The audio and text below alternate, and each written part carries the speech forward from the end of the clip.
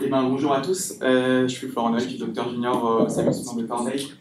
Donc, je vais vous présenter euh, d'abord un cas clinique sur une intervention qui a eu lieu il y a un ou deux mois sur notre secteur, qui sera suivi d'un petit topo en relation avec le cas sur, sur l'entité nodologique.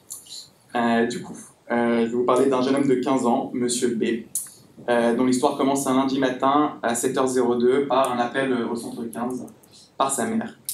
Donc euh, une mère qui appelle, euh, qui parle euh, pour son fils, qui évoque un syndrome pseudo-grippal qui évolue depuis 48 heures. Et la raison de son appel de bon matin, c'est que elle trouve qu'il y a une gêne respiratoire qui s'est installée récemment. Elle fait des vomissements, elle le trouve cyanosé et puis dans un contexte fébrile. Donc le régulateur qui la prend au téléphone va, prendre également notre patient en ligne. Euh, lui faire un test qu'il fait classiquement sur les gènes respiratoires, essayer de le faire compter jusqu'à 10 euh, en une seule euh, bouffée d'air. Il n'y arrive pas, il entend également des grognements. Bon, il est un petit peu euh, indéterminé, donc il va d'abord envoyer un VSAV, donc un équipage pompier, pour un petit peu débrouiller la situation, avoir des premiers paramètres vitaux. Une vingtaine de minutes plus tard, on a le bilan des pompiers qui est fait auprès de notre régulateur, qui va retrouver du coup euh, comme information le fait que notre jeune homme de 15 ans a pour antécédent un asthme, sans plus d'informations à son sujet, et qu'il présente en effet devant eux une, une détresse respiratoire avec des signes de lutte, avec de tirage et de balancement, une pâleur, surtout une grosse polypnée à 60, malgré tout une saturation qui va se maintenir à 95% en air ambiant. Ils vont quand même le mettre sous oxygène euh, au masque de concentration devant le tableau clinique, et euh, un patient qui sera tachycarde autour de, de 150. Donc, devant le tableau, il demande un renforce mur qui du coup euh, va être envoyé. On a donc une équipe médicale qui va partir et euh, trois quarts d'heure environ plus tard va pouvoir passer son bilan. Donc on est à une heure du début de l'appel. On précise un petit peu les choses. Donc c'est un jeune homme de 15 ans qui a un simple assez léger, pas de traitement de fond, uniquement de l'inventoline si besoin. Euh, qui dans l'histoire, donc comme la mère le décrivait, présente un syndrome pseudo-grippal, euh, fièvre, courbature, tout depuis 48 heures environ. A priori, une, une angine, il a été vu 24 heures plus tôt à la maison médicale de garde euh, locale, euh, où le médecin aurait diagnostiqué une angine. A- priori, il n'aurait pas fait de septatest, mais il aurait quand même mis sous amoxicilline, euh, raison pour laquelle il est sous amox depuis 24 heures. La gêne respiratoire, elle, elle est vraiment apparue au cours de la nuit, et puis elle a été progressivement croissante. À l'examen clinique par l'équipe médicale, on a un patient qui commence à désaturer, 90% de SAT malgré les 15 litres de concentration, toujours aussi polypnéique, toujours avec ses signes de lutte, et puis l'auscultation pulmonaire, pas d'argument euh, pour une crise d'asthme, mais plutôt euh, une matité en base gauche qui leur fait évoquer dans le contexte global plutôt euh, une pneumopathie ou une pleuropneumopathie.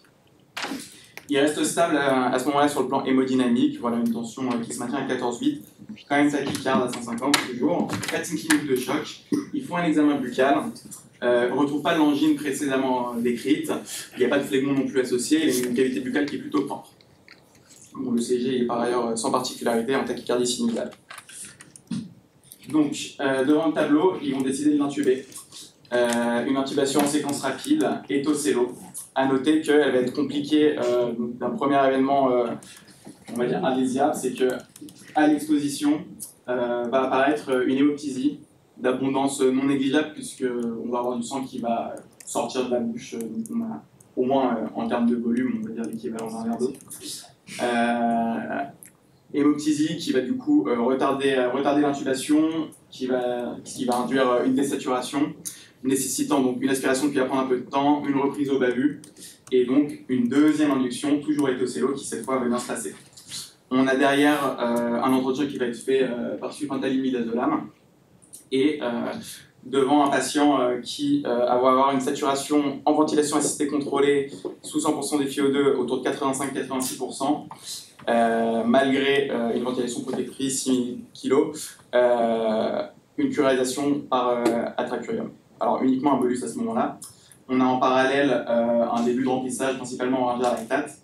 Et donc, on va avoir un patient qui, pendant le transfert, sera stable sur le plan hémodynamique, toujours précaire sur le plan respiratoire, et avec une capno qui va vraiment jamais, euh, toujours être entre 45 et 50, malgré une augmentation progressive euh, du volume minute sur les paramètres du respirateur pendant le transport.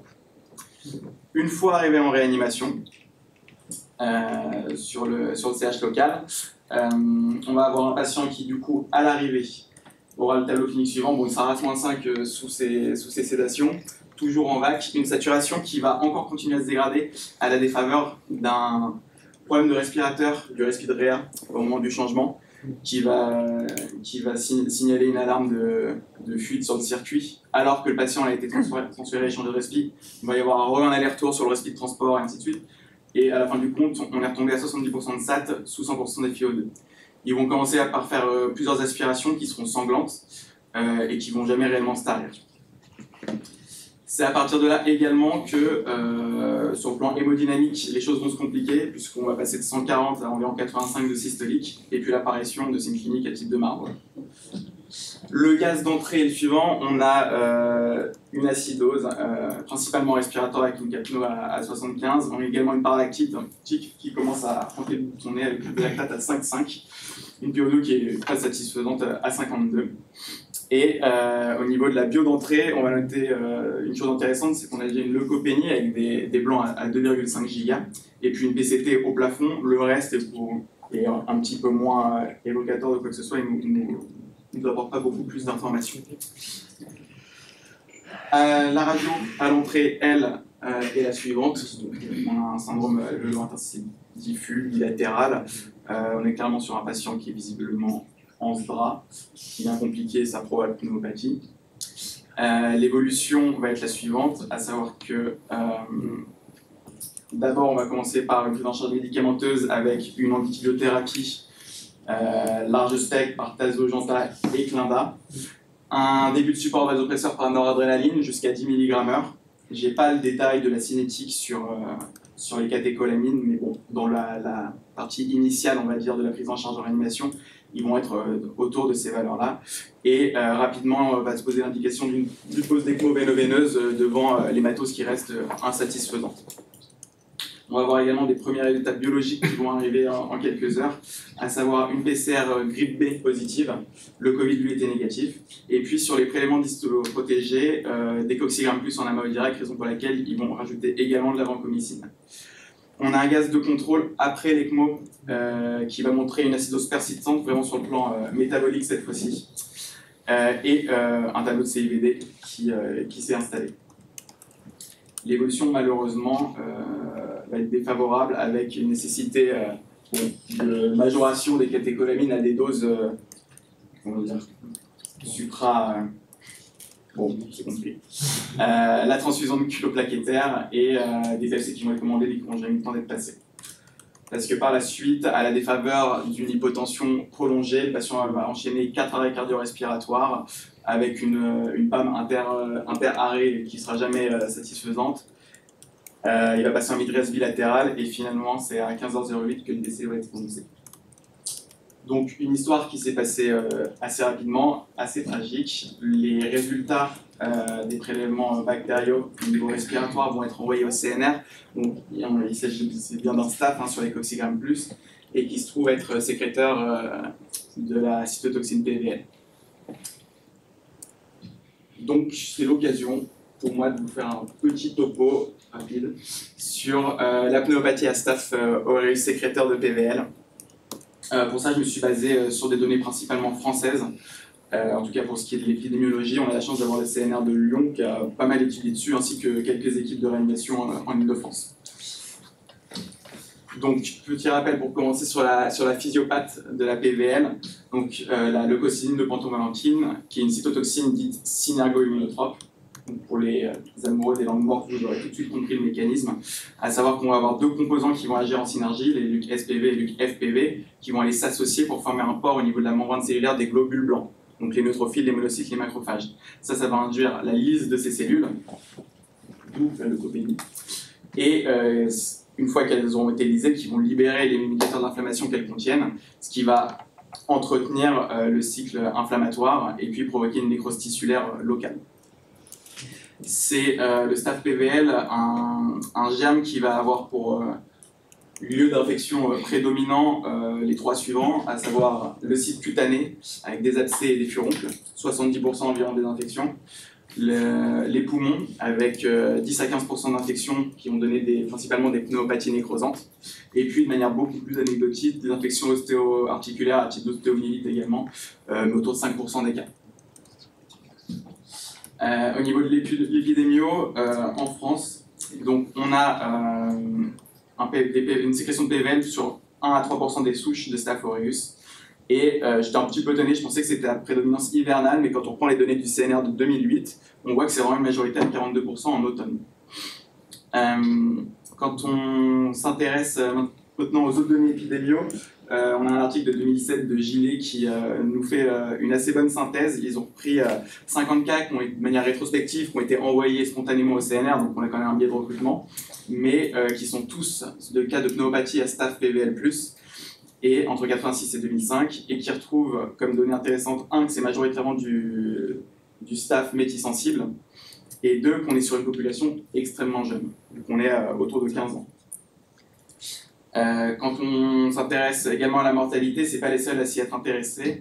Euh, donc eux, ils ont trouvé qu'on avait 56%, de mortalité, 56 de mortalité euh, avec une médiane de survie à 10 jours, et c'est des données qu'on retrouve à peu près dans ce ordre d'idée dans un article de 2011 qui est pour le coup une case review de cas pas que français, mais on va dire la moitié sont des français, on a 14 cas reportés français sur 32 de staff métis-sensible uniquement euh, et qui retrouve une mortalité à 41%.